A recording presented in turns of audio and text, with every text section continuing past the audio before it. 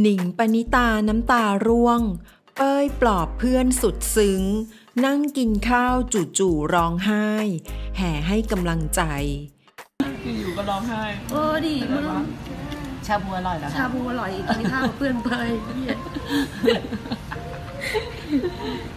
อยู่ก็ร้องไห้เออคนแก่แล้วแม่งเวลาคุยเรื่องเก่าๆแล้วแม่ง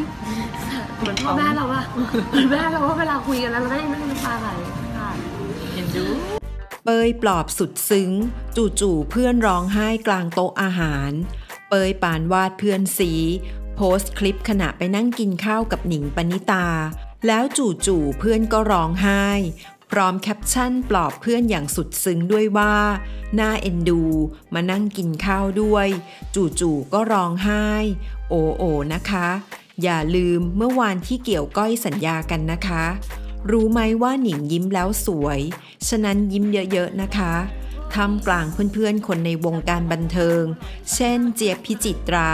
ดีเจบุกโกะ น้องฉัด และคนก็ได้เข้ามาให้กำลังใจเป็นจำนวนมาก โดยสาวหนิงก็เข้ามาคอมเมนต์ขอบคุณทุกกำลังใจ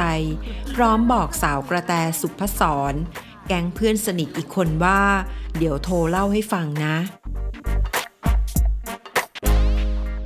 ขอขอบคุณข้อมูลจากข่าวสด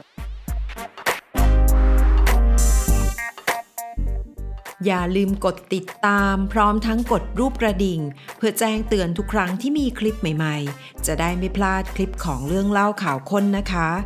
รักทุกคนค่ะ